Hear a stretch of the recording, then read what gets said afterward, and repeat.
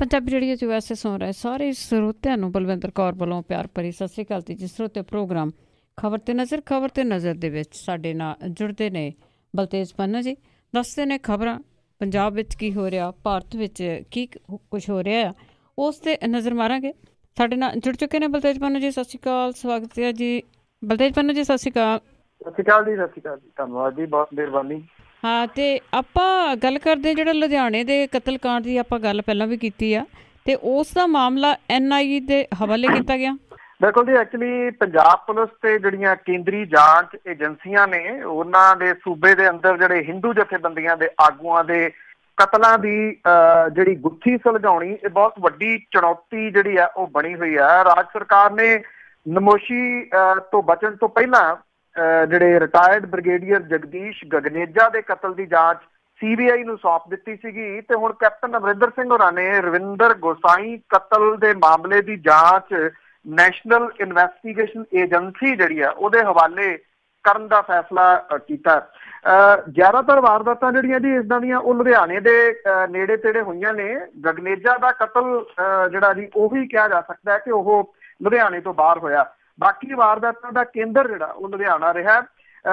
Punjab police ਨੇ 2 ਤੋਂ ਇਸ ਸ਼ਹਿਰ ਦੇ ਨੇੜੇ ਤੇੜੇ ਹੋ ਰਹੇ ਕਤਲਾਂ ਨੂੰ ਰੋਕਣ ਲਈ ਕੋਈ ਠੋਸ ਰਣਨੀਤੀ ਨਹੀਂ ਬਣਾਈ। ਲੁਧਿਆਣਾ ਪੁਲਿਸ ਕਮਿਸ਼ਨਰੇਟ ਦੇ ਖੇਤਰ ਦੇ ਵਿੱਚ 40 ਲੱਖ ਦੀ ਆਬਾਦੀ ਹੈ 10-12 ਲੱਖ ਵਿਅਕਤੀ ਇਦਾਂ ਦੇ ਆ ਜਿਨ੍ਹਾਂ ਦੀ ਗਿਣਤੀ ਮੁਤਾਬਕ ਲੁਧਿਆਣਾ ਸ਼ਹਿਰ 'ਚ ਕੋਈ ਗਿਣਤੀ ਨਹੀਂ ਹੁੰਦੀ, ਨਾ ਉਹਨਾਂ ਦੀ ਪਛਾਣ ਦਾ ਕੋਈ ਆਧਾਰ ਹੈ। ਪੰਜਾਬ ਪੁਲਿਸ ਨੇ ਸੇਫ ਸਿਟੀ ਪ੍ਰੋਜੈਕਟ ਦੇ ਤਹਿਤ ਇਸ ਸ਼ਹਿਰ ਤਕਰੀਬਨ 400 ਸੀਸੀਟੀਵੀ ਕੈਮਰੇ ਲਾਏ ਆ, ਪਰ ਇਹਨਾਂ ਦੇ ਵਿੱਚ ਕੁਝ ਵੀ ਜਿਹੜਾ ਦੀ ਉਹ ਨਹੀਂ ਆਇਆ। ਜਗਦੀਸ਼ ਜਗਨੇਜਾ ਦੇ ਕਤਲ ਦੀ ਜਾਂਚ 1 ਕਰੋੜ ਮੋਬਾਈਲ ਫੋਨ ਦੀਆਂ ਕਾਲਾਂ ਦੇ ਘੋਖ ਕੀਤੀ ਕੁਝ ਵੀ ਪੱਲੇ ਨਹੀਂ ਪਿਆ।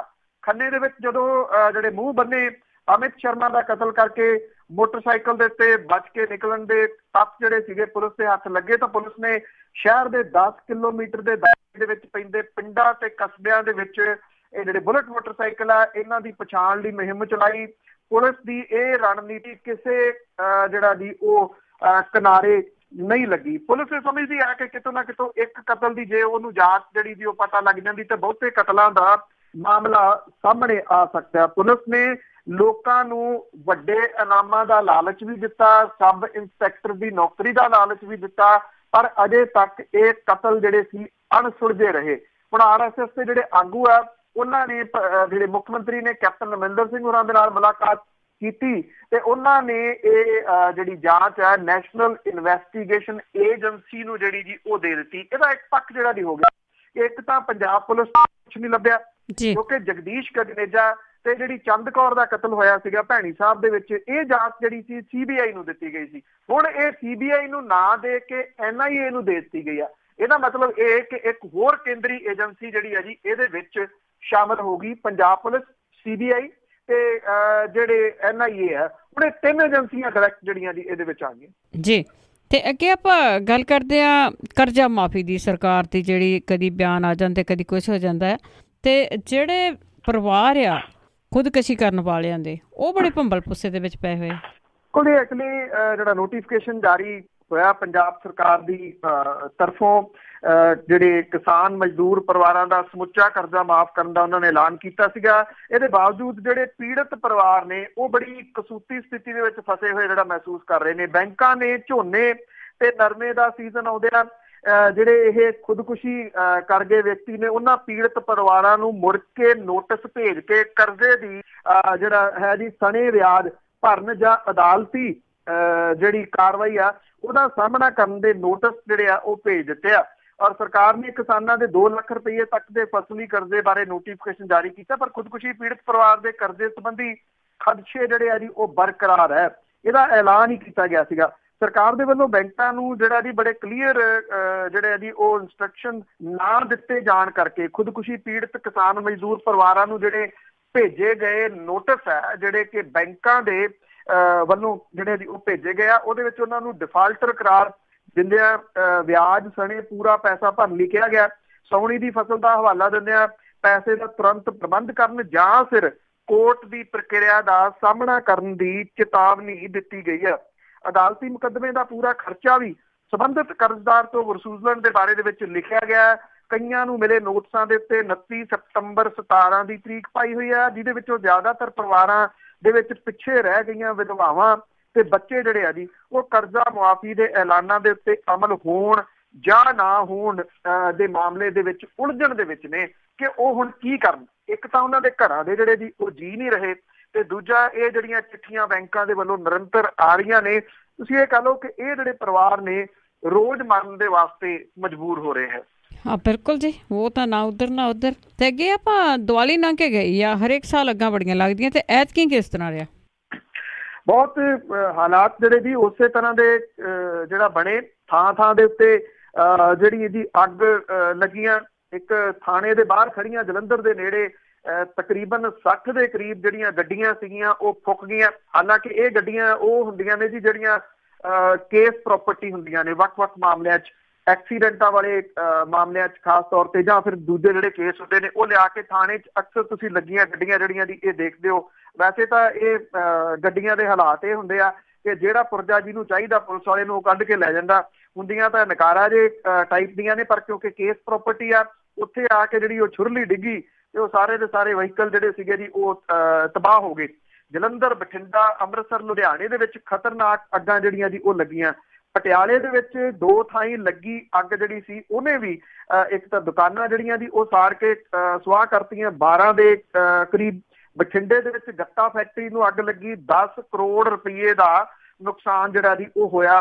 ਦਸੀਦਾ ਗੱਤਾ ਫੈਕਟਰੀ ਨੂੰ ਜਿਹੜੀ ਲੱਗੀ ਅੱਗ ਸੀਗੀ ਕੋਰੂ ਕਰਾਫਟ ਪ੍ਰਾਈਵੇਟ ਲਿਮਟਿਡ ਨਾਂ ਦੀ ਇਹ ਫੈਕਟਰੀ ਇਹ ਬਕਸਿਆਂ ਦੇ ਰੋਲ ਦੇ ਰੂਪ ਦੇ ਵਿੱਚ ਕਾਗਜ਼ ਜਿਹੜਾ ਦੀ ਉਹ ਤਿਆਰ ਕਰਦੀ ਆ।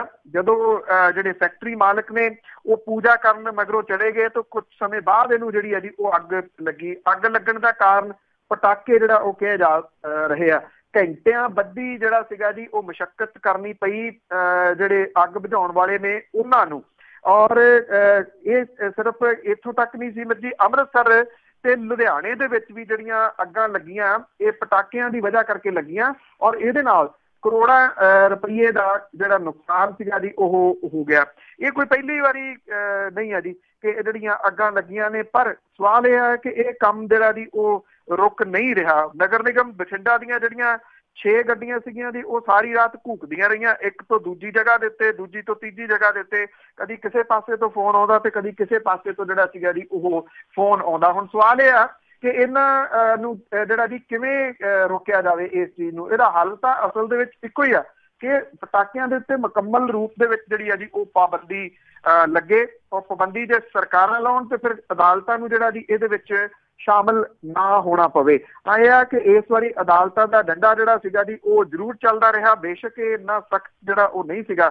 ਪਰ ਇਹ ਕਰੋੜਾਂ ਰੁਪਏ ਦਾ ਮੁਆਵਜ਼ਾ ਜਿਹੜਾ ਜੀ ਉਹ ਕੌਣ ਦੇਊਗਾ? ਇਹ ਵੱਡਾ ਸਵਾਲ ਹੈ ਜੀ ਜੀ, ਕਿਉਂਕਿ ਉਹ ਤਾਂ ਸਾਰਾ ਕੁਝ ਸੜ ਕੇ ਸਵਾਹ ਹੋ ਜਾਂਦਾ। ਜੀ, ਤਾਂ ਹੋਰ ਬਾਕੀ ਆਪਾਂ ਗੱਲ ਕਰਦੇ ਆ ਕੁਝ ਸਾਲ ਪਹਿਲਾਂ ਅਸੀਂ ਪੰਜਾਬ ਵਿੱਚ ਜਾਂਦੇ ਹੁੰਦੇ ਸੀਗੇ ਤਾਂ ਬੜਾ ਦੁੱਖ ਲੱਗਦਾ ਹੁੰਦਾ ਸੀ ਕਿ ਕੁਝ ਸਕੂਲ ਆ ਜਿਹੜੇ, ਉਹ ਬੰਦ ਹੋ ਗਏ, ਉਹਨਾਂ ਨੂੰ ਜਿੰਦੇ ਲੱਗ ਗਏ ਸੀਗੇ। ਤੇ ਪਰ ਉਸ ਟਾਈਮ ਦੇ ਉੱਤੇ ਅਕਾਲੀ ਸਰਕਾਰ ਸੀ, ਪਰ ਜਿਹੜੇ ਹੁਣ ਕਹਿੰਦੇ ਕੁਝ ਰਹਿ ਗਏ ਹੁਣ ਇਸ ਸਰਕਾਰ ਨੇ ਜਿੰਦੇ ਲਾ ਦੇਣੇ ਆ? ਤੁਹਾਡੀ ਜਿਹੜਾ ਐਜੂਕੇਸ਼ਨ ਡਿਪਾਰਟਮੈਂਟ ਹੈ ਜੀ, ਉਹ ਪੰਜਾਬ ਦੇ 800 ਸਰਕਾਰੀ ਪ੍ਰਾਇਮਰੀ ਸਕੂਲਾਂ ਨੂੰ ਜਿੰਦੇ ਲਾਉਣ ਦਾ ਜਿਹੜਾ ਜੀ ਉਹ ਉਹਨੇ ਮਨ ਬਣਾ ਲਿਆ ਜਿਹੜੇ ਡਾਇਰੈਕਟਰ ਸਿੱਖਿਆ ਵਿਭਾਗ ਨੇ ਐਲੀਮੈਂਟਰੀ ਉਹਨਾਂ ਨੇ ਜਿਹੜੇ ਡਿਸਟ੍ਰਿਕਟ ਆਫੀਸਰ ਦੇ ਸਿੱਖਿਆ ਆਫੀਸਰ ਨੇ, ਉਹਨਾਂ ਨੂੰ ਚਿੱਠੀ ਭੇਜ ਕੇ 20 ਤੋਂ ਘੱਟ ਸਟੂਡੈਂਟਾਂ ਵਾਲੇ 800 ਸਕੂਲਾਂ ਨੂੰ ਨੇੜਲੇ ਸਕੂਲਾਂ ਦੇ ਵਿੱਚ ਮਿਲਾਉਣ ਦੇ ਹੁਕਮ ਦਿੱਤੇ ਨੇ। ਅਧਿਕਾਰੀਆਂ ਨੇ ਇਹ ਕਾਰਵਾਈ ਇੱਕ ਹਫ਼ਤੇ ਦੇ ਅੰਦਰ ਅੰਦਰ ਮੁਕੰਮਲ ਕਰਕੇ ਰਿਪੋਰਟ ਭੇਜਣ ਲਈ ਕਿਹਾ। ਜਿਹੜੇ ਘੱਟ ਬੱਚਿਆਂ ਵਾਲੇ ਸਕੂਲ ਨੇੜਲੇ ਸਕੂਲਾਂ ਦੇ ਵਿੱਚ ਮਰਜ ਹੋਣ ਤੋਂ ਬਾਅਦ ਕਰੀਬ 1600 ਅਧਿਕਾਰ ਜਿਹੜੇ ਟੀਚਰ ਨੇ, ਉਹਨਾਂ ਦੀਆਂ ਅਸਾਮੀਆਂ ਖਤਮ ਹੋ ਜਾਣਗੀਆਂ। ਜਿਹੜਾ ਐਸਐਸ ਨਗਰ ਹੈ ਮੁਹਾਲੀ, ਇਹਦੇ 30 ਸਰਕਾਰੀ ਪ੍ਰਾਇਮਰੀ ਸਕੂਲ ਬੰਦ ਹੋਣਗੇ। ਜ਼ਿਲ੍ਹਾ ਅੰਮ੍ਰਿਤਸਰ ਦੇ ਵਿੱਚ ਵੀ 30 ਸਿੱਖਿਆ ਮੰਤਰੀ ਅਰਣਾ ਜਿਹੜੀ ਚੌਧਰੀ ਨੇ ਜੀ, ਉਹਨਾਂ ਦੇ ਹਲਕੇ ਸਮੇਤ ਸਮੁੱਚੇ ਜ਼ਿਲ੍ਹਾ ਗੁਰਦਾਸਪੁਰ ਦੇ ਵਿੱਚ 133 ਰੂਪਨਗਰ ਦੇ ਵਿੱਚ 71 ਜ਼ਿਲ੍ਹਾ ਹੁਸ਼ਿਆਰਪੁਰ ਦੇ ਵਿੱਚ 140 ਸਕੂਲ ਬੰਦ ਹੋਣਗੇ। ਪਠਾਨਕੋਟ ਦੇ ਵਿੱਚ 52 ਪਟਿਆਲੇ ਦੇ ਵਿੱਚ 50 ਜਲੰਧਰ ਦੇ ਵਿੱਚ 54 ਫਤਿਹਗੜ੍ਹ ਸਾਹਿਬ ਅਤੇ ਜਿਹੜਾ ਕਪੂਰਥਲਾ ਡਿਸਟ੍ਰਿਕਟ ਹੈ ਜੀ। ਇੱਥੇ ਵੀ ਜਿਹੜੇ ਆ ਜੀ ਸਕੂਲ 41 41 ਬੰਦ ਹੋਣਗੇ। ਲੁਧਿਆਣੇ ਦੇ ਵਿੱਚ ਕਰੀਬ 39 ਜਿਹੜਾ ਸ਼ਹੀਦ ਭਗਤ ਸਿੰਘ ਨਗਰ ਹੈ ਜੀ ਪੁਰਾਣਾ ਨਵਾਂ ਸ਼ਹਿਰ 34 ਸੰਗਰੂਰ ਚ 23 ਫਿਰੋਜ਼ਪੁਰ ਚ 22 ਤਰਨਤਾਰਨ ਦੇ ਵਿੱਚ 9 ਫਾਜ਼ਿਲਕਾ ਚ 8 ਮੋਗੇ ਚ 7 ਭਾਵ ਕੋਈ ਜਿਹੜਾ ਡਿਸਟ੍ਰਿਕਟ ਆ ਜੀ, ਉਹ ਬਚਿਆ ਨਹੀਂ, ਜਿੱਥੇ ਇਹ ਸਕੂਲ ਬੰਦ ਨਹੀਂ ਹੋਣਗੇ। 800 ਸਕੂਲ ਜਿਹੜੇ ਜੀ, ਉਹ ਬੰਦ ਹੋਣ ਦੇ ਨਾਲ ਜਿੱਥੇ ਥੋੜੇ ਵਿਦਿਆਰਥੀ ਨੇ, ਉਹਨਾਂ ਨੂੰ ਨੇੜਲੇ ਸਕੂਲਾਂ ਦੇ ਵਿੱਚ ਜਿਹੜਾ ਜੀ, ਉਹ ਜਾਣਾ ਪਊਗਾ।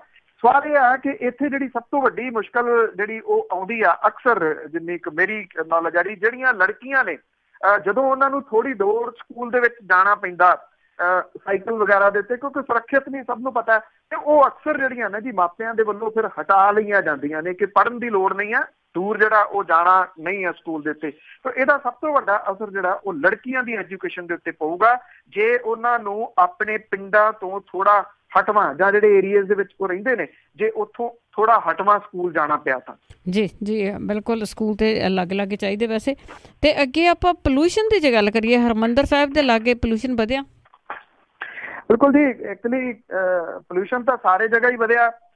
ਇੰਨਾ ਆ ਕਿ ਥੋੜਾ ਇਹ ਕਿਹਾ ਜਾ ਰਿਹਾ, ਇਹਦੇ ਉੱਤੇ ਤਸੱਲੀ ਜਿਹੜੀ ਹੈ ਜੀ, ਉਹ ਪ੍ਰਗਟ ਕਰ ਰਿਹਾ। ਪੰਜਾਬ ਪੋਲੂਸ਼ਨ ਕੰਟਰੋਲ ਬੋਰਡ ਕਿ ਜਿੰਨਾ ਉਹ ਸਮਝਦਾ ਸੀਗਾ ਪੋਲੂਸ਼ਨ ਹੋ ਸਕਦਾ, ਇੰਨਾ ਨਹੀਂ ਹੋਇਆ। ਪਿਛਲੇ ਸਾਲਾਂ ਦੇ ਮੁਕਾਬਲੇ ਜਿਹੜਾ ਜੀ, ਉਹ ਪੋਲੂਸ਼ਨ ਪਹਿਲੀ ਵਾਰੀ ਜਿਹੜਾ ਜੀ, ਉਹ ਘਟਿਆ ਇਹ ਦੀਵਾਲੀ ਦੇ ਪਟਾਕਿਆਂ ਤੋਂ ਬਾਅਦ। ਸਭ ਤੋਂ ਵੱਧ ਪੋਲੂਸ਼ਨ ਜਿਹੜਾ ਜੀ, ਲੁਧਿਆਣੇ ਦੇ ਵਿੱਚ ਹੋਇਆ। ਹਾਈ ਕੋਰਟ ਨੇ 3 ਘੰਟੇ ਦੇ ਵਾਸਤੇ ਪਟਾਕੇ ਚਲਾਉਣ ਦੀ ਛੋਟ ਦਿੱਤੀ ਸੀਗੀ। ਹਾਲਾਂਕਿ ਬਹੁਤ ਸਾਰੇ ਥਾਵਾਂ ਦੇ ਉੱਤੇ ਰਾਤ 12 ਵਜੇ ਤੱਕ ਪਟਾਕੇ ਜਿਹੜੇ ਸੀਗੇ ਉਹ ਚੱਲਦੇ ਰਹੇ। ਕੁਝ ਥਾਵਾਂ ਦੇ ਉੱਤੇ ਮਾਮਲੇ ਵੀ ਜਿਹੜੇ ਸੀਗੇ ਉਹ ਦਰਜ ਹੋਏ। ਜਿਹੜਾ ਪੋਲੂਸ਼ਨ ਹੈ ਦੀ 24% ਦੀ ਵਧਿਆ ਔਰ ਪਿਛਲੇ ਸਾਲ ਦੇ ਮੁਕਾਬਲੇ ਜਿਹੜਾ ਜੀ, ਇਹ ਥੋੜਾ ਘੱਟ ਹੈ। ਪਰ ਜਿਹੜਾ ਸਾਹ ਲੈਣਾ ਔਖਾ ਜਿਹੜਾ ਉਹ ਜ਼ਰੂਰ ਹੋਇਆ। 70% ਦੀ ਤੱਕ ਥਾਵਾਂ ਦੇ ਉੱਤੇ ਜਿਹੜਾ ਜੀ, ਉਹ ਵੱਧ ਗਿਆ। 2016 ਦੇ ਵਿੱਚ ਪੰਜਾਬ ਦੇ ਵਿੱਚ ਦੀਵਾਲੀ ਤੋਂ ਅਗਲੇ ਦਿਨ ਜਿਹੜਾ ਸੀਗਾ ਜੀ, ਇਹ ਪੋਲੂਸ਼ਨ 130 ਤੋਂ ਵੱਧ ਕੇ 228 ਹੋ ਗਿਆ ਸੀਗਾ ਔਰ ਜਿਹੜੇ ਪੋਲੂਸ਼ਨ ਲੈਵਲ ਦੇ ਵਿੱਚ 70% ਦਾ ਵਾਧਾ ਹੋਇਆ ਸੀਗਾ, ਇਸ ਸਾਲ ਦੀਵਾਲੀ ਦੇ ਦਿਨ ਜਿਹੜਾ 328 ਦੇ ਉੱਤੇ ਇਹ ਚਲੇ ਗਿਆ। ਦੀਵਾਲੀ ਤੋਂ ਇੱਕ ਦਿਨ ਪਹਿਲਾਂ 265 ਸੀਗਾ। 100 ਜਿਹੜਾ ਜੀ ਉਹ ਚਾਹੀਦਾ ਜੇ ਆਪਾਂ 에ਅਰ ਕੁਆਲਿਟੀ ਇੰਡੈਕਸ ਰੇਂਜ ਜਿਹੜੀ ਹੈ ਜੀ, ਉਹ ਕਰੀਏ, ਜੇ 50 ਹੈ 0 ਤੋਂ 50 ਚੰਗੀ ਆ 51 ਤੋਂ 100 ਤੱਕ ਤਸੱਲੀ ਬਖਸ਼ ਬਖਸ਼ਾ 101 ਤੋਂ ਲੈ ਕੇ 200 ਤੱਕ ਠੀਕ ਠਾਕ ਹੈ, ਵਿਚਾਲੇ ਜੇ ਰਹਿੰਦੀ ਆ 201 ਤੋਂ ਲੈ ਕੇ 300 ਤੱਕ ਖਰਾਬ ਹੋ ਜਾਂਦੀ ਆ 301 ਤੋਂ 400 ਤੱਕ ਬਹੁਤ ਖਰਾਬ ਤੇ 401 ਤੋਂ ਉੱਪਰ ਜਿਹੜੀ ਆ ਦੀ ਉਹ ਖਤਰਨਾਕ ਹੋ ਜਾਂਦੀ ਆ।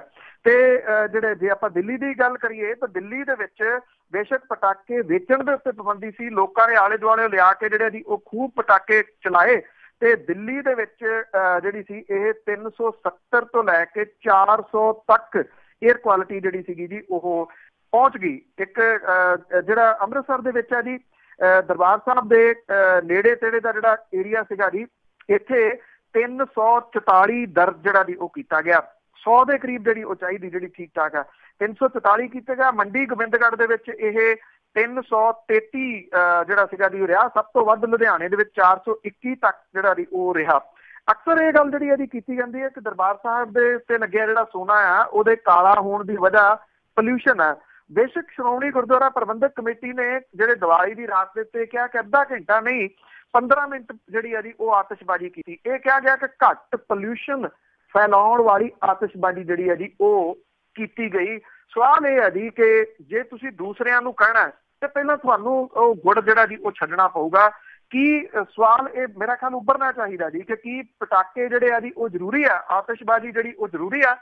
ਇਹਦੀ ਸ਼ੁਰੂਆਤ ਤੇ ਦਰਬਾਰ ਸਾਹਿਬ ਤੋਂ ਹੁੰਦੀ ਹੈ ਤਾਂ ਅੱਗੋਂ ਜਿਹੜਾ ਜੀ, ਇਹਦਾ ਚੰਗਾ ਸੰਦੇਸ਼ ਦਿੱਤਾ ਜਾ ਸਕਦਾ ਜਿਹੜੇ ਲੋਕਾਂ ਦੇ ਉੱਤੇ ਵੀ ਅਸਰ ਕਰ ਸਕਦਾ ਹੈ ਕਿ ਉੱਥੇ ਆਤਿਸ਼ਬਾਜ਼ੀ ਜਿਹੜੀ ਹੈ ਜੀ, ਉਹ ਨਹੀਂ ਕੀਤੀ ਜਾਊਗੀ। ਕੋਈ ਸਮਾਂ ਹੁੰਦਾ ਸੀਗਾ ਜਦੋਂ ਦਰਬਾਰ ਸਾਹਿਬ ਦੇ ਜਿਹੜੇ ਸੋਨਾ ਹੈ ਜੀ, ਉਹਦੀ ਬਹੁਤ ਸਾਲਾਂ ਬਾਅਦ ਸਫ਼ਾਈ ਹੁੰਦੀ ਹੁੰਦੀ ਸੀ।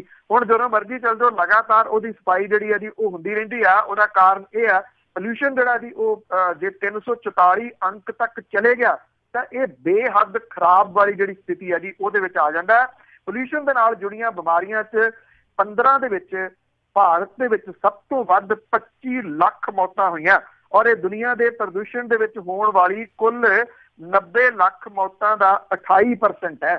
ਟੋਟਲ ਜਿਹੜੀਆਂ ਡੈਥ ਹੋਈਆਂ ਨੇ ਪੂਰੇ ਦੁਨੀਆ ਦੇ ਵਿੱਚ ਪੋਲੂਸ਼ਨ ਦੇ ਨਾਲ 28% ਕੱਲੀਆਂ ਇਸ ਮੁਲਕ ਦੇ ਵਿੱਚ ਜਿਹੜਾ ਜੀ ਹੋਈਆਂ ਨੇ। ਜੇ ਲੋਕ ਅਜੇ ਵੀ ਨਹੀਂ ਸੋਚਣਗੇ ਹੋਪੜੇ ਵਾਲੀ ਜਿਹੜੀ ਹੈ ਜੀ ਉਹ ਪ੍ਰਵਿਰਤੀ ਜਿਹੜੀ ਬਣਾਈ ਰੱਖਣਗੇ, ਤਾਂ ਇੱਕ ਗੱਲ ਪੱਕੀ ਆ ਕਿ ਆਉਣ ਵਾਲੀਆਂ ਨਸਲਾਂ ਜਿਨ੍ਹਾਂ ਦੇ ਵਾਸਤੇ ਸ਼ਾਇਦ ਜਿਵੇਂ ਬੱਚੇ ਨੇ, ਉਹ ਜੇ ਬੈਗ ਟੰਗ ਕੇ ਲਿਜਾਂਦੇ ਆ ਤੇ ਨਾਲ ਉਹਨਾਂ ਨੂੰ ਆਕਸੀਜਨ ਦਾ ਸਿਲੰਡਰ ਵੀ ਜਿਹੜਾ ਉਹ ਟੰਗਣਾ ਪਊਗਾ ਤੇ ਕਿਹੋ ਜੀਆਂ ਲਾਂਤਾਂ ਉਹ ਜਿਹੜੀਆਂ ਨਸਲਾਂ ਨੇ ਸਾਡੀ ਇਸ ਪੀੜ੍ਹੀ ਨੂੰ ਪਾਉਣਗੀਆਂ ਇਹ ਸਿਰਫ ਮਹਿਜ਼ ਸੋਚਿਆ ਹੀ ਜਾ ਸਕਦਾ ਹੈ। ਜੀ ਬਿਲਕੁਲ ਸ਼ੁਰੂਆਤ ਤਾਂ ਕਿਤੇ ਹੋਣੀ ਚਾਹੀਦੀ ਹੈ। ਤੇ ਅੱਗੇ ਵਜ਼ਾਰਤ ਵਿੱਚ ਵਾਧਾ ਨਾ ਹੋਣ ਕਰਕੇ ਕਾਂਗਰਸੀ ਬੇਚੈਨ?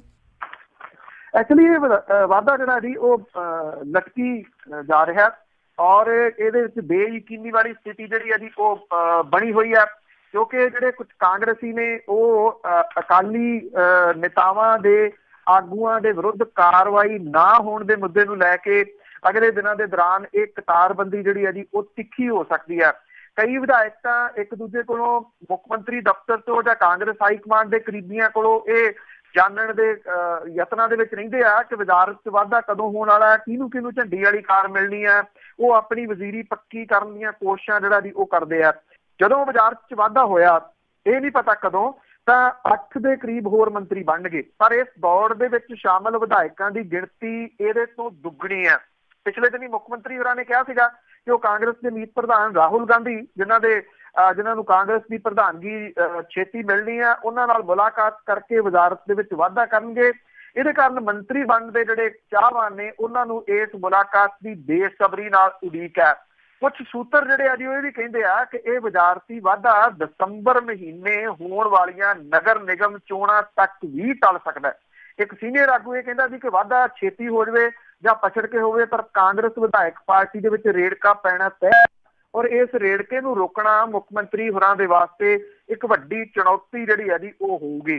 ਕਾਂਗਰਸੀ ਵਿਧਾਇਕਾਂ ਦੇ ਵਿੱਚ ਇਹਨੂੰ ਲੈ ਕੇ ਨਾਰਾਜ਼ਗੀ ਜਿਹੜੀ ਹੈ ਜੀ, ਉਹ ਵੱਧਦੀ ਜਾ ਰਹੀ ਹੈ ਕਿ ਪਿਛਲੀਆਂ ਵਿਧਾਨ ਸਭਾ ਚੋਣਾਂ ਤੇ ਗੁਰਦਾਸਪੁਰ ਦੀ ਜ਼ਿਮਨੀ ਚੋਣ ਦੇ ਵਿੱਚ ਵੀ ਪਾਰਟੀ ਦੇ ਕਈ ਆਗੂਆਂ ਨੇ ਲੋਕਾਂ ਨਾਲ ਮੁੜ ਕੇ ਵਾਅਦਾ ਕੀਤਾ ਕਿ ਪਿਛਲੀ ਅਕਾਲੀ ਭਾਜਪਾ ਸਰਕਾਰ ਦੇ ਜਿਹੜੇ ਮੰਤਰੀਆਂ ਤੇ ਆਗੂਆਂ ਦੇ ਨਾਂ ਨਸ਼ਿਆਂ ਦੀ ਸਮਗਲਿੰਗ ਤੇ ਹੋਰ ਹੇਰਾਫੇਰੀਆਂ ਵਿੱਚ ਜੁੜਦੇ ਰਹੇ ਨੇ, ਉਹਨਾਂ ਦੇ ਵਿਰੁੱਧ ਕਾਰਵਾਈ ਕੀਤੀ ਜਾਊਗੀ, ਪਰ ਮੁੱਖ ਮੰਤਰੀ ਇਸ ਮੁੱਦੇ ਦੇ ਉੱਤੇ ਦੋ ਚ ਨੇ। ਉਹ ਅਕਸਰ ਇੱਕੋ ਹੀ ਗੱਲ ਕਹਿੰਦੇ ਆਪਣੇ ਸਿਆਸੀ ਵਿਰੋਧੀਆਂ ਨਾਲ ਕਿੜ ਕੱਢਣ ਦੀ ਨਹੀਂ ਅਪਣਾਉਣਗੇ। ਇਹ ਜਿਹੜੇ ਵਿਧਾਇਕ ਆ ਜੀ, ਉਹ ਇਹ ਵੀ ਕਹਿੰਦੇ ਆ ਕਿ ਜੇ ਸਰਕਾਰ ਚਾਹੇ ਤਾਂ ਉਹ ਕਾਰਵਾਈ ਕਰ ਸਕਦੀ, ਜੇ ਨਹੀਂ ਕਰਨਾ ਚਾਹੁੰਦੀ ਤਾਂ ਉਹ ਸਬੂਤ ਵੀ ਜਿਹੜੇ ਆ ਜੀ, ਉਹ ਮਿਟਾ ਸਕਦੀ ਹੈ ਇਹ ਵੀ ਕਿਹਾ ਜਾ ਰਿਹਾ ਜੀ ਕਿ ਜਿਹੜਾ ਸੈਸ਼ਨ ਆਊਗਾ ਵਿਧਾਨ ਸਭਾ ਦਾ ਉਹਦੇ ਵਿੱਚ ਇਹ ਜਿਹੜੇ ਨਿਰਾਸ਼ ਥੋੜੇ ਵਿਧਾਇਕ ਨੇ, ਉਹ ਤਿੱਖੀਆਂ ਟਿੱਪਣੀਆਂ ਵੀ ਆਪਣੀ ਹੀ ਸਰਕਾਰ ਦੇ ਵਿਰੋਧ ਦੇ ਵਿੱਚ ਕਰਨ ਦੀ ਤਿਆਰੀ ਕਰ ਰਹੇ ਹਨ। ਬਿਲਕੁਲ ਜੀ, ਅੰਦਰੋਂ ਅੰਦਰ ਤਾਂ ਬਹੁਤ ਕੁਝ ਹੋ ਰਿਹਾ ਹੈ ਤੇ ਅੱਗੇ ਆਪਾਂ ਪਹਿਲਾਂ ਗੱਲ ਕੀਤੀ ਸੀ ਕਿ ਹਰਿਆਣੇ ਦੀ ਇੱਕ ਗਾਇਕਾ ਸੀ ਉਸ ਦਾ ਕਤਲ ਹੋ ਗਿਆ ਸੀਗਾ ਤੇ ਇਲਜ਼ਾਮ ਲੱਗਦਾ ਸੀ ਉਸ ਦੇ ਹਸਬੰਡ ਤੇ ਤੇ ਉਸ ਨੇ ਸਵੀਕਾਰ ਕੀਤਾ ਕਿ ਕਤਲ ਵੀ ਉਸਨੇ ਕੀਤਾ। ਇਹ ਹਰਿਆਣਵੀ ਡਾਂਸਰ ਤੇ ਸਿੰਗਰ ਸੀ ਜੀ, ਹਰਸ਼ਤਾ ਦਾਈਆ ਜਿਹਦਾ ਮਰਡਰ ਹੋਇਆ ਸੀਗਾ। ਉਹਦੀ ਜਿਹੜੀ ਭੈਣ ਲਤਾ, ਉਹਨੇ ਇਹ ਗੱਲ ਆਖੀ ਸੀਗੀ ਕਿ ਹਰਸ਼ਿਤਾ ਦਾ ਕਤਲ ਜਿਹੜਾ, ਉਹਦੇ ਹਸਬੰਡ ਦਿਨੇਸ਼ ਨੇ ਕੀਤਾ ਹੋ ਸਕਦਾ ਕਿਉਂਕਿ ਇਹਦੀ ਮਾਂ ਦਾ ਕਤਲ ਹੋਇਆ ਸੀਗਾ, ਹਰਸ਼ਤਾ ਤੇ ਲਤਾ ਦੀ ਮਾਂ ਦਾ। ਉਸੇ ਮਾਮਲੇ ਦੇ ਵਿੱਚ ਦਿਨੇਸ਼ ਜਿਹੜਾ ਜੀ, ਉਹ ਜੇਲ੍ਹ ਦੇ ਵਿੱਚ ਹੈ। ਕਿਉਂਕਿ ਇਸ ਕਤਲ ਮਾਮਲੇ ਦੇ ਵਿੱਚ ਹਰਸ਼ਤਾ ਜਿਹੜੀ ਉਹ ਮੁੱਖ ਗਵਾਹ ਸੀਗੀ, ਚਸ਼ਮਦੀਦ ਗਵਾਹ ਸੀ। ਉਹਨੂੰ ਡਰਾਉਣ ਵਗੈਰਾ ਦੀ ਕੋਸ਼ਿਸ਼ ਜਿਹੜੀ ਉਹ ਕੀਤੀ ਗਈ ਕਿ ਉਹ ਇਹ ਗਵਾਹੀ ਨਾ ਦੇਵੇ। ਹੁਣ ਉਹ ਗਵਾਹੀ ਆ ਰਹੀ ਸੀ ਆਉਂਦੇ ਦਿਨਾਂ ਦੇ ਦੌਰਾਨ। ਇਸੇ ਕਰਕੇ ਦਿਨੇਸ਼ ਨੇ ਜਿਹੜਾ ਜੀ ਉਹ ਕਤਲ ਕਰਵਾਇਆ ਜਾਂ ਹੋ ਸਕਦਾ ਹੈ ਕਿਉਂਕਿ ਪੁਲਿਸ ਨੇ ਉਹਨੂੰ ਰਿਮਾਂਡ ਤੇ ਲਿਆ, ਜੇਲ੍ਹ ਦੇ ਵਿੱਚੋਂ ਜਿਹੜਾ ਜੀ ਉਹ ਲੈ ਕੇ ਤੇ ਪੁਲਿਸ ਇਹ ਦੱਸਦੀ ਹੈ ਕਿ ਉਹਨੇ ਮੰਨ ਲਈ ਹੈ ਇਹ ਗੱਲ ਦਿਨੇਸ਼ ਨੇ ਕਿ ਉਹਨੇ ਕਤਲ ਕਰਵਾਇਆ। ਜੇਲ੍ਹ ਦੇ ਵਿੱਚ ਬਹਿ ਕੇ ਉਹਨੇ ਇਸ ਕਤਲ ਦੀ ਸਾਜ਼ਿਸ਼ ਜਿਹੜੀ ਸੀ ਉਹ ਰਚੀ। ਅਨੇ ਜਿਹੜੇ ਰਿਮਾਂਡ ਦੇ ਦੌਰਾਨ ਇਹ ਗੱਲ ਜਿਹੜੀ ਉਹਨੇ ਕਬੂਲੀ ਆ, ਪਰ ਇਹ ਨਹੀਂ ਪਤਾ ਲੱਗਿਆ ਜੀ ਕਿ ਕਿਹਦੇ ਰਾਹੀਂ ਉਹਨੇ ਇਹ ਕਤਲ ਕਰਵਾਇਆ ਤੇ ਇਹਦੇ ਕਿੰਨੇ ਪੈਸੇ ਜਿਹੜੇ ਆ, ਇਹ ਪਹਾੜੇ ਦੇ ਕਾਤਲਾਂ ਨੂੰ ਉਹਨੇ ਦਿੱਤੇ ਆ। ਪੁਲਿਸ ਇਹ ਕਹਿੰਦੀ ਆ ਕਿ ਉਹਦੇ ਕੋਲੇ ਅਜੇ ਰਿਮਾਂਡ ਹੋਰ ਹੈਗਾ ਦਿਨੇਸ਼ ਦਾ ਤੇ ਉਹ ਇਹ ਪੁੱਛਗਿੱਛ ਲਾ ਕੇ ਪਤਾ ਕਰਨ ਦੀ ਕੋਸ਼ਿਸ਼ ਕਰੂਗੀ ਕਿ ਕਿਹਦੇ ਰਾਹੀਂ ਉਹਨੇ ਇਹ ਕਤਲ ਕਰਵਾਇਆ। ਜਿਹੜਾ ਦਿਨੇਸ਼ ਕਰਾਲਾ ਦੀ ਉਹ ਨੋਨ ਬਦਮਾਸ਼ ਟਾਈਪ ਦਾ ਹੈ। ਉਹਦੇ ਉੱਤੇ ਨਰੇਲਾ, ਜੀਂਦ ਸੋਨੀਪਤ ਦਿੱਲੀ ਦੇ ਵਿੱਚ ਕਤਲ ਕਤਲ ਦੀ ਕੋਸ਼ਿਸ਼ ਲੁੱਟ ਰੇਪ ਦੇ 12 ਮੁਕੱਦਮੇ ਜਿਹੜੇ ਆ ਜੀ, ਉਹ ਦਰਜ ਹੈ। ਔਰ ਹਰਸ਼ਿਤਾ ਦੇ ਕਤਲ ਤੋਂ ਬਾਅਦ ਉਹਦੇ ਉੱਤੇ ਦਰਜ ਹੋਣ ਵਾਲਾ ਇਹ 13ਵਾਂ ਕੇਸ ਜਿਹੜਾ ਦੀ ਉਹ ਹੋਊਗਾ ਕਤਲ ਦੀ ਸਾਜ਼ਿਸ਼ ਰਚਣ ਵਾਲਾ, ਜਿਹਦੀ ਕਿ ਪੁਲਿਸ ਤਿਆਰੀ ਕਰੀ ਬੈਠੀ ਹੈ। ਇਹ ਮਾਮਲਾ ਉੱਤੇ ਦਰਜ ਕਰਨ ਦੀ। ਜੀ, ਤੇ ਅੱਗੇ ਆਪਾਂ ਅਖੀਰ ਦੇ ਵਿੱਚ ਗੱਲ ਕਰਦੇ ਆ 에ਅਰ ਇੰਡੀਆ ਦੀ, ਤੇ ਉਹ ਕਰਜ਼ਾ ਲੈ ਕੇ ਉੱਡੂਗੀ? ਦੇਖੋ ਜੀ 에ਅਰ ਇੰਡੀਆ ਦਾ ਰਾਹ ਜਿਹੜਾ ਵੀ ਉਹ ਔਖਾ ਹੋ ਰਿਹਾ ਡੇ ਬਾਈ ਡੇ ਜਿਹੜੀਆਂ ਬੁਨਿਆਦੀ ਲੋੜਾਂ ਦੇ ਵਾਸਤੇ ਹੁਣ 1500 ਕਰੋੜ ਰੁਪਏ ਦੇ ਥੋੜੇ ਚਿਰ ਦੇ ਕਰਜ਼ੇ ਲਈ ਤਜਵੀਜ਼ਾਂ ਮੰਗੀਆਂ ਗਈਆਂ ਨੇ। ਸਰਕਾਰ ਦੇ ਵੱਲੋਂ ਇਸ 에ਅਰਲਾਈਨ ਵਿੱਚੋਂ ਆਪਣਾ ਜਿਹੜਾ ਹਿੱਸਾ ਦੀ ਵਾਪਸ ਲੈਣ ਲਈ ਰੂਪਰੇਖਾ ਤਿਆਰ ਕੀਤੀ ਜਾ ਰਹੀ ਹੈ। ਦੂਜੇ ਪਾਸੇ 에ਅਰ ਇੰਡੀਆ ਨੇ ਤਕਰੀਬਨ 1 ਮਹੀਨੇ ਤੋਂ ਬਾਅਦ ਦੂਜੀ ਵਾਰੀ ਲੋਨ ਲਈ ਟੈਂਡਰ ਜਾਰੀ ਕੀਤੇ ਆ। ਕਰਦੇ ਇਹ ਦੱਬੀ ਇਹ 에ਅਰਲਾਈਨ ਜਿਹੜੀ ਕਿ ਕਰਜ਼ਾ ਦੇਣ ਵਾਲਿਆਂ ਦੇ ਪੈਸੇ ਤੇ ਰਿੜ ਰਹੀ ਆ ਸਖਤ ਮੁਕਾਬਲੇ ਤੇ ਵਿੱਤੀ ਤੰਗੀਆਂ ਦੇ ਕਰਕੇ ਚੁਣੌਤੀਆਂ ਦਾ ਸਾਹਮਣਾ ਜਿਹੜਾ ਦੀ ਉਹ ਕਰਨਾ ਪੈ ਰਿਹਾ। ਜਿਹੜੇ ਅਕਤੂਬਰ ਮਹੀਨੇ ਦੇ ਅੱਧ ਚ ਜਾਰੀ ਕੀਤੇ ਗਏ ਇੱਕ ਜਿਹੜਾ ਇਹਦਾ ਦਸਤਾਵੇਜ਼ ਹੈ ਉਹਦੇ ਵਿੱਚ 에ਅਰ ਇੰਡੀਆ ਨੇ ਕਿਹਾ ਕਿ ਉਹਨੂੰ ਜ਼ਰੂਰੀ ਲੋੜਾਂ ਦੇ ਵਾਸਤੇ ਪੂਰਤੀ ਕਰਨ ਲਈ ਸਰਕਾਰ ਦੀ ਗਰੰਟੀ ਵਾਲੇ ਕੁੱਲ 1500 ਕਰੋੜ ਰੁਪਏ ਦੀ ਕਰਜ਼ੇ ਦੀ ਲੋੜ ਹੈ ਔਰ ਇਹ ਕਰਜ਼ਾ ਮੋੜਨ ਦੀ ਮਿਆਦ 27 ਜੂਨ 18 ਹੋਊਗੀ। ਪਰ ਇਹਦੇ ਵਿੱਚ ਵਾਧਾ ਵੀ ਕੀਤਾ ਜਾ ਸਕਦਾ ਹੈ। 에ਅਰ ਇੰਡੀਆ ਨੇ 26 ਅਕਤੂਬਰ ਤੱਕ ਕਰਜ਼ਾ ਦੇਣ ਦੀਆਂ ਬੈਂਕਾਂ ਨੂੰ ਆਪਣੀਆਂ ਪੇਸ਼ਕਸ਼ਾਂ ਨਾਲ ਅੱਗੇ ਆਉਣ ਦੀ ਬੇਨਤੀ ਕੀਤੀ ਹੈ ਜੀ। 에ਅਰ ਇੰਡੀਆ ਨੇ ਪਿਛਲੇ ਮਹੀਨੇ ਵੀ ਆਪਣੀਆਂ ਬੁਨਿਆਦੀ ਲੋੜਾਂ ਦੇ ਵਾਸਤੇ 3250 ਕਰੋੜ ਰੁਪਏ ਲੋਨ ਲਈ ਤਜਵੀਜ਼ਾਂ ਮੰਗੀਆਂ ਸੀ। ਅਜੇ ਤੱਕ ਪਿਛਲੇ ਮਹੀਨੇ ਜਾਰੀ ਕੀਤੇ ਗਏ ਦਸਤਾਵੇਜ਼ ਜਿਹੜੇ ਸੀ, ਉਹਨਾਂ ਨੂੰ ਕੋਈ ਹੁੰਗਾਰਾ ਬਹੁਤਾ ਨਹੀਂ ਮਿਲਿਆ। ਇਸ ਸਾਲ ਜੂਨ ਦੇ ਵਿੱਚ ਵਿੱਤੀ ਮਾਮਲਿਆਂ ਬਾਰੇ ਕੈਬਨਿਟ ਕਮੇਟੀ ਜਿਹੜੀ ਹੈ ਜੀ, ਉਹਨੇ 에ਅਰਲਾਈਨ ਦੇ ਵਿੱਚੋਂ ਆਪਣਾ ਨਿਵੇਸ਼ ਜਿਹੜਾ ਸੀਗਾ, ਉਹ ਵਾਪਸ ਲੈਣ ਨੂੰ ਸਿਧਾਂਤਕ ਮਨਜ਼ੂਰੀ ਦੇ ਦਿੱਤੀ ਸੀਗੀ। 에ਅਰ ਇੰਡੀਆ ਦੇ ਸਿਰ 50000 ਕਰੋੜ ਰੁਪਏ ਤੋਂ ਵੱਧ ਦਾ ਕਰਜ਼ਾ ਹੈ। ਸਰਕਾਰ ਸਮਝਦੀ ਹੈ ਕਿ ਇੱਕ ਚਿੱਟਾ ਹਾਥੀ ਹੈ। ਇਸ ਕਰਕੇ ਉਹ ਆਪਣੇ ਹੱਥ ਪਛਾਹ ਖਿੱਚ ਰਹੀ ਹੈ ਔਰ ਉਹਨੇ 에ਅਰ ਇੰਡੀਆ ਨੂੰ ਕਿਹਾ ਕਿ ਤੁਸੀਂ ਆਪਣੇ ਤੌਰ ਦੇ ਉੱਤੇ ਕਰਜ਼ਾ ਲੈ ਕੇ ਇਹਨੂੰ ਚਲਾ ਸਕਦੇ ਹੋ ਤਾਂ ਚਲਾ ਲਓ। ਸਰਕਾਰ ਜਿਹੜੀ ਹੈ ਦੀ ਉਹਨੂੰ ਕੋਈ ਇੰਟਰਸਟ ਨਹੀਂਗਾ ਕਿ 에ਅਰ ਇੰਡੀਆ ਚੱਲਦੀ ਰਹੇ ਜਾਂ ਉਹ ਡੁੱਬ ਜਾਵੇ। ਥੈਂਕ ਯੂ ਜੀ ਬਹੁਤ ਬਹੁਤ ਧੰਨਵਾਦ। ਮਿਹਰਬਾਨੀ ਜੀ ਧੰਨਵਾਦ ਜੀ ਸਤਿ ਸ਼੍ਰੀ ਅਕਾਲ। ਸਤਿ ਸ਼੍ਰੀ ਅਕਾਲ ਜੀ। ਤੇ ਸਰੋਤੇ ਸਨਬਲ ਤੇਜ ਬੰਨੂ ਜੀ ਸਾਡੇ ਨਾਲ ਜੁੜਦੇ ਨੇ ਕਰਦੇ ਨੇ ਖਬਰਾਂ। ਹੁਣ ਇਸੇ ਦੇ ਨਾਲ ਅੱਜ ਦਾ ਬੁਲਟਨ ਇੱਥੇ ਸਮਾਪਤ। ਅਗਲੇ ਬੁਲਟਨ ਤੱਕ ਬਲਵਿੰਦਰ ਕੌਰ ਵੱਲੋਂ ਪਿਆਰ ਭਰੀ ਸਤਿ ਸ਼੍ਰੀ ਅਕਾਲ।